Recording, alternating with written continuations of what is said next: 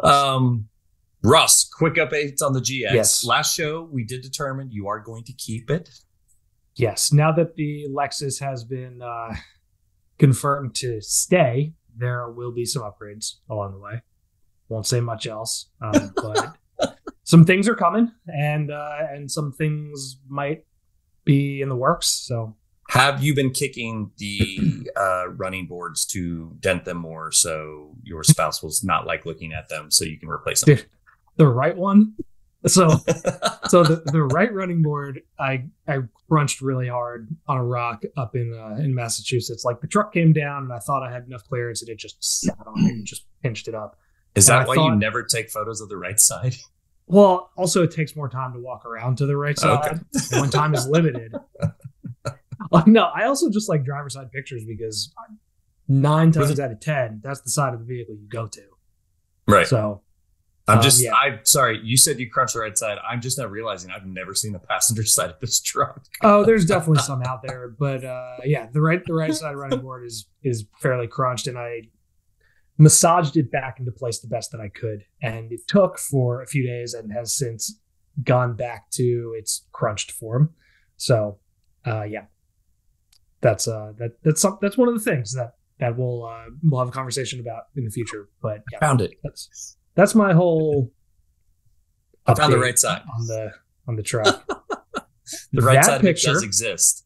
So that picture is about a month before the running board got crunched. Okay. Yeah. You And I think it was already rocks. a little smushed. but yeah, I don't know. Truck's good. I've been driving it a bunch. Um, and yeah, I have nothing else to report. Oh, I know what I can talk about. I'm dumb. Sorry. I didn't even update the notes with my correct update. So, part of my update is we have a potential trip in the spring. Um, it is out west. The GX is too far away because it's like six days total just to drive it out there and drive it back. Yep. Within the trip wedged between that. Um, and so while Ross would enjoy that much time in the Lexus, uh, his Ross's back would not enjoy that much time in the Lexus I think and my or back jobs. would, yeah, my job and my baby would probably be a little underwhelmed with that You much think your back would be okay? I think the uh yes, the Lexus is actually pretty comfy. And that's Okay. like saying sky blue, you know. Right. Um but it's I don't know, I haven't done I think I did seven hours in it once and it was pretty fun. So Se- seven hours is not three days. what's I'm point what's out. another twenty six? right? Yeah, So- it's uh it's let's for the record, it is Oh, come on, internet. I was trying to get a Google Maps going. It is 21 that uh 21,000 2170 door to door from me to Moab. Okay. How many, how many hours? Um I don't know. It it suggested a flight at first, so Oh, yeah. I kind Yeah. of just clicked away. That's my favorite. I'm always like, thanks a lot, Max. Like I Uh, don't need the f- 33 hours. 33? Yeah. Okay. That's not that's not too bad for Black Elk, honestly. Yeah. Road warrior status. we'll, we'll, we'll get into Yeah. that very shortly. yeah, right. So with this potential trip though, where we were then like, all right, what the suburban is the only other thing that really kind of makes sense, um, as that it's it's a little higher. But one of the stipulations on this potential trip is it's in Utah, so obviously there's going to be rocks involved. But they the term rock crawling was used even, um, which gave me some hesitance because the suburban is unarmored.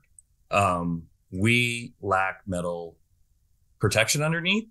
Um, so Oh, I got underneath to like, actually, what I was like, how bad is it underneath? Like, because we always talk about the Nissan Frontier, right? The Frontier, the frame is the lowest thing that comes down, and all the soft bits are above it. Mhm. So, like, if for the audio listener, I, I've got a picture of the undercarriage of the Suburban up. The left side of the image, this is the plastic uh, skid plate that hangs down from the front and kind of curls underneath the oil pan.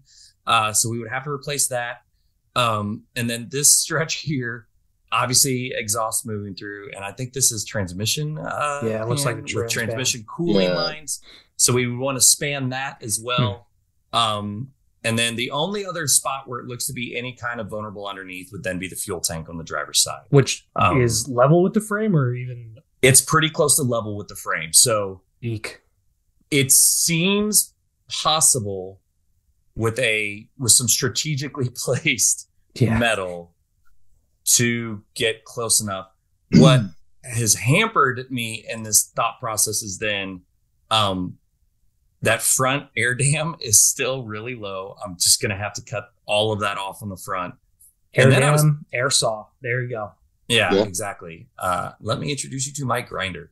Um Huh? actually That's yeah, the I don't know if angle you grinder. say that. Angle grinder, Ross, angle grinder. Pound down. Actually, here I got a I got a side on shot that'll Yeah. help us with this. Been watching too Pervert. much Letterkenny. Yes, you have. Um, okay, so again, for the audio listener, I apologize. And I say audio listener, which is redundant. Um, basically, you can come in on the front bumper and go right at the edge of that black line there by yourself three inches. You could do some reinforce. It has some like plastic reinforcement underneath, but you could do Hmm. some metal reinforcement behind it that would then protect that lower lip. Um, and pretty much there's nothing else that's really hanging low there. Um, obviously, running boards we would want to replace with some kind of slider, and then you could actually come back to the bumper here and just trim Mm-hmm. this kink off, and then uh, the black shadow here is actually the spare, which I would either put in or out. up. Yeah. Yeah. Um, in. You have enough and space. it goes in. Huh? You have enough space in there. It goes in. Exactly. Well, I, was, I remember sleeping arrangement, so maybe I'm sleeping inside. So maybe it goes Fair. to the Okay. top.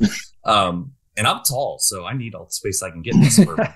um, and then uh, obviously, then at the back, the only thing you have to worry about is the exhaust pipe. And if you ding the exhaust pipe, that's easily replaceable. Like Mhm. just cut some tube. So all of that is uh, kind of a thought process. Um, and I did, I did take the suburban out again. I went out with the kids, um, and just had another trip uh, with them. We we did it a little different this time. We kind of went back to the same location, um, where, uh, but I let my oldest drive a lot this time. Um, I let him uh, do some some uh, some steering on. First of all, I put him on the interstate for the first time, which was hilarious Oh, because boy. I I did it in the spot where the speed limit's 75. So he's driven the fastest he's ever driven now. Um, Oh, Yeah. And talking through small adjustments. Um, and then there was actually, uh, I actually have a video clip because he's, he's been doing this thing that's been driving me nuts in traffic. Um, I'm waiting for it to load. And so he doesn't realize he's doing this, but he's consistently pulling to the right. Like the truck is aligned. Mm. It does not. But if you look in this video, how he started with both wheels centered on the wood, and now towards the end of it, we've kind of leaned to the right a Mhm. little bit. So I've actually, it was great because I was able to use this video with him to be like, see? And he was like, got it. Oh. And so Mhm. he's gotten a little better since then. Um, I Eyes did let him, I did let him drive in, uh, on the gravel quite a bit. I let him drive through um, a couple of Fords with some water. Uh, and then I did, Yeah. it's- Fords. Yeah, well, it's a, it's a creek. Yeah, it's six inches. Drove through a Ranger. an Yeah, I was thinking Ford excursions and expeditions. It was an actual creek. Come on, I got artsy with my photos, guys. Come on. Yeah. I gotta. Oh no, I have a cough coming. Where's my? Beautiful. Oh, it's gorgeous. How much? Uh, Cold. how much does that thing weigh? Do you know? Uh, I think it's like 56, 58. I'm just It's- curious. It's between like 56 and 59. I know you live in the 9,000 pound world, so Yeah. No, I've always wondered how much they weigh. So yeah, no, Yeah. it's not as bad as we think it is. I think it's like Like 53 to 59. Yeah. um, Four wheel drive Premier's 58. Yeah. Uh, and so the leveling kit didn't add much weight, but if we start slapping metal on the bottom of it, um, this should have been a picture I used. You could see the clearance better. Um, so yeah, I, I took the kids back out.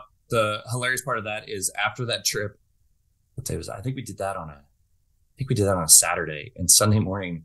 Um, my, my youngest two who are eight and four and a half got up and were like, where are we going? We're going again, right? What are we doing today? Like it's we're not doing anything today. I just spent so many hours with you guys in the car yesterday. It was great. You got all got tired, like, and we did meet a. Uh, I did meet some friends out, and so I think I have photos of uh the- Ross. You saw the hundred series and Yes. um and Spencer's F one fifty, which is Mhm. it's just a truck. So they they actually went and camped Saturday night, and it was like twenty five and a pretty decent north wind. um, which was kind of wicked there. And so I had a my 11 year old had a basketball game Saturday night, so we had to leave from this, drive all the way back, get him changed in time to go to basketball. So, um, oh, is that is that a giant rock there? It is. I'm looking at. Okay. It's it's called Teter Rock, and I can drop you a pin later if you guys want to go take a drone out and make beautiful, beautiful shots. Because Yes, it's interesting looking. yeah, for southeast Kansas, it's kind of like the only landmark down there, and it's it's man made. Like it's definitely like farm erected. Like Yeah, Okay. it looks like sculpture. That's what I Yeah. thought it was at first. it's there are like conflicting stories on what it represents. Like some guy supposedly died in a snowstorm. And so they erected this rock so he would then know if he was close to the farm. And other people are like, that's horseshit. Somebody just decided to put it up.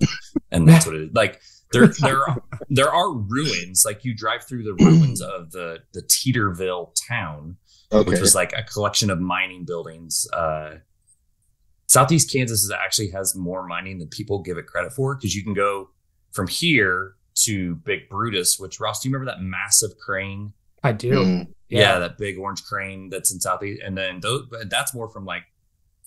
I don't know if strip mining's the right term or not, but like you can literally see lakes cut in like canal shapes down there from all the, the mining they did. So- so The rock definitely wasn't from some mining company that just wanted to dump it somewhere. Definitely not. No chance. it, it it's definitely a, like a guy who set it up, but what? Yeah, the farmer. Yeah, that that one gets me. um, I gotta tickle my throat again. Oh, Speaking of uh, haunting dreams, that guy will be in your nightmares tonight. Exactly, like his soul's trying to invade me right now. Get out of here, dude. House spirits everywhere. Oh Yeah. god, what a weird way to kick Thanks, it Ross. off here. Yep, you're welcome.